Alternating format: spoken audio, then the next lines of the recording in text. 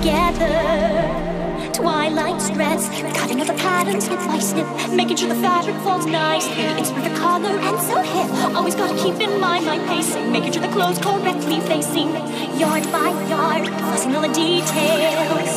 Jewel neckline, don't you know a stitch in time saves nine? Make her something perfect to inspire, even though she hates form all the time. Gotta mind those intimate details, even though she's more concerned with sales. It's Applejack's new.